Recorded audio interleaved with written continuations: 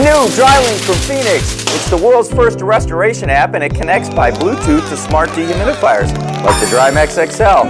And it's totally free. Free download, no usage fees, and it's compatible with iOS and Android.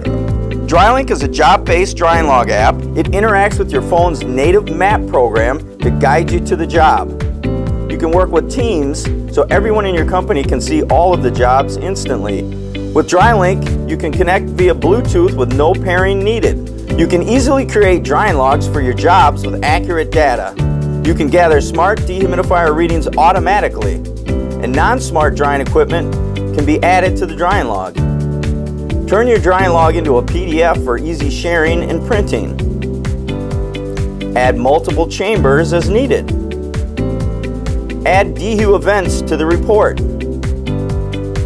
You can control your dehumidifier from your phone. Easily identify which one you are connected to. You can reset the job hours, put the unit in quiet mode, turn it on, or start the shutdown sequence. You can purge water, calibrate the RH sensors if needed.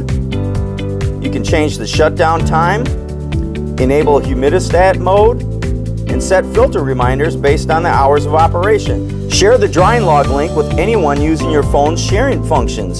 The drying log is updated automatically when you take your daily readings.